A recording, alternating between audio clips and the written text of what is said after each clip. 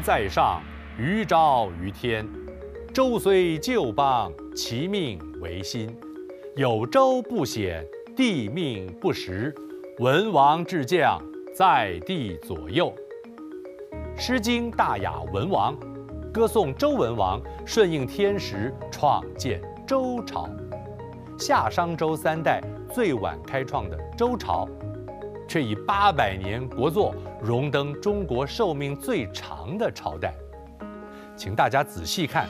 图中这个毛公鼎，上头写满了密密麻麻的五百字铭文。周代人喜欢写字这件事，说明了人文精神的崛起。大家渐渐不再那么迷信鬼神了。而现藏于中国陕西宝鸡青铜器博物馆的这件何尊，上头写的铭文“宅兹中国”，竟然出现了最早的“中国”字样。但据考证，这里指的中国不是国家，而是被认为位于天下之中的周朝首都。大体上，西周实行的政治制度称作封建。封这个字形本意就是指在土上犁出一道沟，再往上种树，成了自然的国界。所谓分封。就是将国土分给别人，于是就形成了天子而诸侯而大夫而士的封建阶级制度。但国土总有分完的一天，士作为贵族末流已分不到地，但他们受过良好教育，能文能武，依然为国卖命。西元前七八二年，西周迎来了最昏庸的君王。周幽王，他烽火戏诸侯，废太子，只为博得美人褒姒一笑。这种荒唐行径引起部落犬戎叛乱，攻入京城。周平王只好搬家到洛邑，宣告东周时代正式来临。事实上，周天子的势力已是一天不如一天呐。东周前期，从周平王东迁开始算起，到三家分晋进入战国时期为止，这段时间刚好跟孔子整理的史书《春秋》时间大致重叠，于是后来人就称这段历史为春秋时代。春秋时代，周天子实际上早就管不住地方诸侯了，但是大家勉强还愿意给周天子一点好脸色。比如，齐桓公首先推出了政治口号是“尊王攘夷”，表面上是尊敬周天子、抵御夷族，但实则是趁机扩张势力。当然，其他地方诸侯也不甘示弱，比如宋襄公、晋文公、秦穆公、楚庄王、吴王夫差都曾轮番当过春秋霸主。吴王夫差中了越王勾践卧薪尝胆苦思出的美人计，丢了江山。勾践看似成功血耻，最终却被楚国歼灭，春秋霸局宣告完结。到了战国时期，就真没人把周天子放在眼里了。西元前四零三年，韩、赵、魏三家瓜分晋国，为战国时期拉开序幕。战国七雄里，韩赵魏三个。接下来，燕国在北方崛起，拦住了齐国想向北扩张的野心。而到了秦国与楚国对峙时，大戏才真正登场。西元前三八六年，楚国就率先请吴起变法，但却因为裁减了贵族福利，遭到反弹。三十年后，秦国启用商鞅变法。严苛的法律才真正见效。在商鞅的贡献下，秦国军队战斗力激增，土地私有，中央权力集中，这些都成了秦国日后制胜的关键。果然，一百六十年后，西元前二二一年，秦国就在秦始皇带领下，开创出中国史上第一个大一统帝国。在春秋战国时期，由于封建制度瓦解，知识不再是贵族专利，造就了中国五千年来最重要的思想大爆炸时代。当时，民间讲学盛行，各国君王为争当老大，也求才若渴。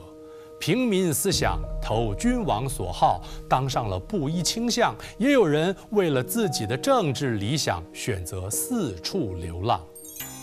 唐朝画家吴道子笔下的这位山东大汉，他身材高大，长相古怪，颅顶凹陷，还露出了两颗门牙，称作骈齿。据说这是圣人之相，他就是鼎鼎大名的孔子。孔子一生的旅行史被记录在号称为古代连环漫画的明朝《孔子圣迹图》中。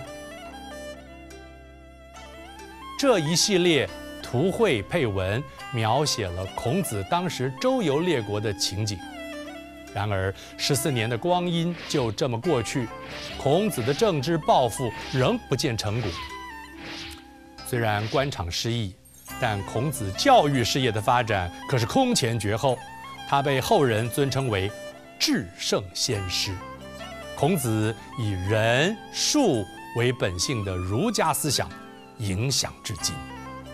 好比说，己所不欲，勿施于人。但在当时，大家对人的本性究竟是什么，意见不同。孟子认为人性本善，就像水会往低处流一样自然。荀子就不那么乐观，他觉得人性本恶，一切善良都是透过后天教化矫正出来的。这种论调一出，直接影响了韩非子开创的法家思想。这派思想觉得，什么道德教化都不如掌权者的威势来的管用。很显然，这种说法各国君王听了都很喜欢，所以崇尚法家的读书人大多当上了大官。接下来要介绍的这位呢，是一位畅销作家，他就是著名的《道德经》作者老子。《道德经》的发行量世界排名仅次于《圣经》，可见道家思想对中西文化都影响极深。据说老子原本不想写书，他某一天骑着青牛出函谷关，想躲避乱世，却被官令拦下，不写字就不得出关。老子被逼急了，逼出了这五千字真言的畅销书。在书中，老子对万物中的水评价最高，最接近他道家思想无为而治、柔能克刚的本意。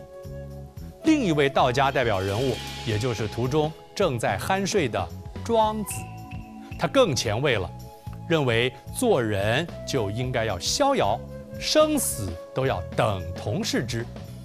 他梦见自己成了蝴蝶，而提出了庄周梦蝶的著名思想实验。究竟是我梦为蝴蝶，还是蝴蝶梦中成我？这是个问题。庄子不仅爱思考，也爱找人辩论。比如有一日，庄子看到水中的鱼，他情不自禁地说：“啊，看那小鱼儿游泳游得多快乐呢！”他的好友惠子不以为然：“哎。”你又不是鱼，你怎么知道鱼快乐？庄子回嘴：“嗯，又不是我，你怎么知道我不知道鱼快乐？”道家和儒家影响后世中华文化深远，但在春秋战国时期，还有一个重要的思想学派是非常有左派精神的——墨子。墨子十分关怀弱势，而且身体力行。看看他穿的衣服。上半身是粗布衣，脚下踩的是草鞋或木屐。墨子反对儒家的阶级伦理观念，主张兼爱非攻，也主张实践验证。而墨子为了阻止战事蔓延，潜心钻研战略，发明许多防守器械，最后反倒成了名副其实的军事家和发明家。这一集就到这儿，要告一段落。不知道各位觉得是研究生命线有科学根据，还是炙烧乌龟壳占卜比较有趣呢？若想再多了解先秦历史，可以前往台北南港中央研究院史语所的历史文物陈列馆，里头的陈列都是千辛万苦运来台湾的历史宝藏，值得走一遭。我们就相约下集再会了。